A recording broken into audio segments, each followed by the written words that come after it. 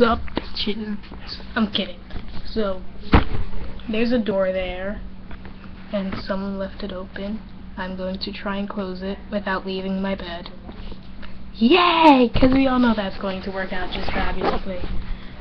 So, um...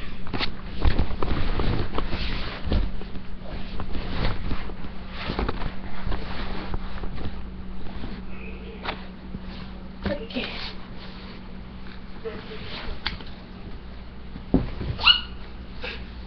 Or are we failing?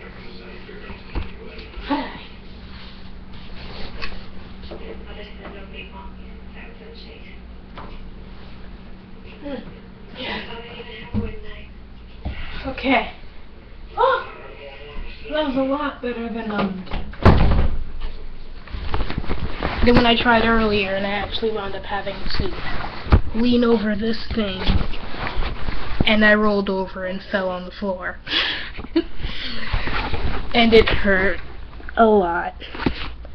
I, I guess that's all. I'll talk to you guys later. Maybe. Ciao.